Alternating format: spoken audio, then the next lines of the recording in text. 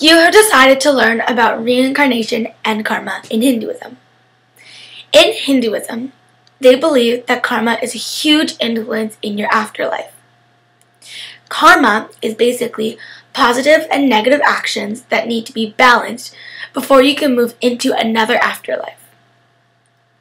Your previous lives strongly influence your the life you're born into after you pass away. Meaning, if you live a life filled with negative karma, not only will you be farther away from the afterlife, but you will possibly be reincarnated as a bug or an animal. But karma also works the other way around.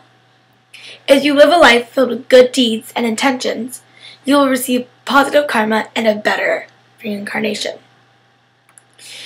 There is no beginning and end to how many rebirths one will receive because it all depends on how you live your lives.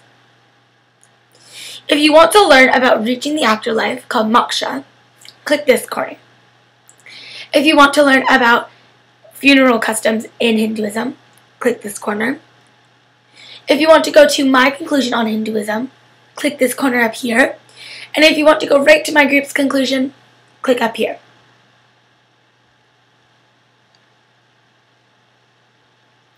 Okay, thanks for watching.